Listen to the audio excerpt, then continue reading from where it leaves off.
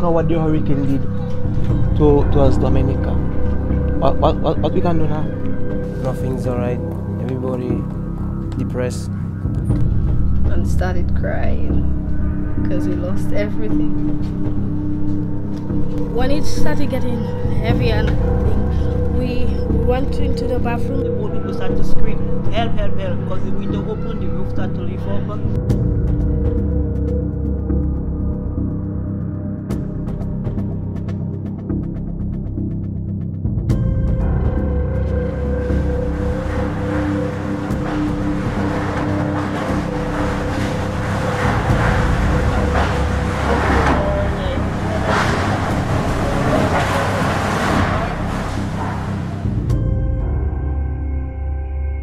Went from category 4 to category 5 and I started to shiver because I'd never experienced a hurricane ever before in my life.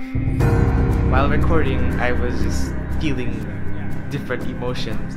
I was thinking, what would my grandparents think? What would my different family members think? I wonder what experiences they're going through. Yeah, uh, yeah so the, the roof is gone.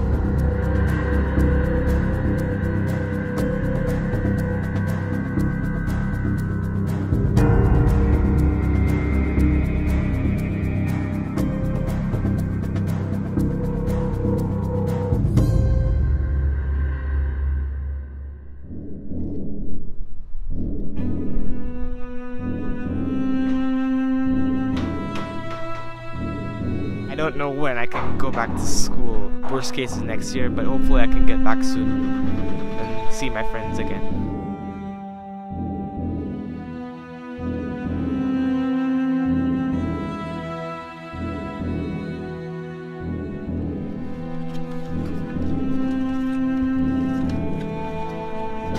We have kids, we have children, and they were the hurricane in the school. And the hurricane do come in the school and, and cause it havoc, eh? and had little children like like them in the school. Eh? So so so our thinking man, we need to we need to think positive man, you know? We don't need to think negative.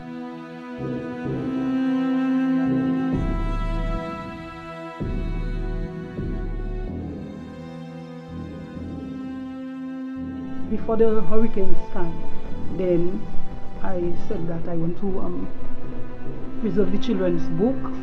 So I took a plastic bag. That today that's the first time that I'm taking them. I took a plastic bag and I put all the children's books inside of the plastic bags. Then when we came back home the next day we happened to salvage whatever we could. And then from there we took it on.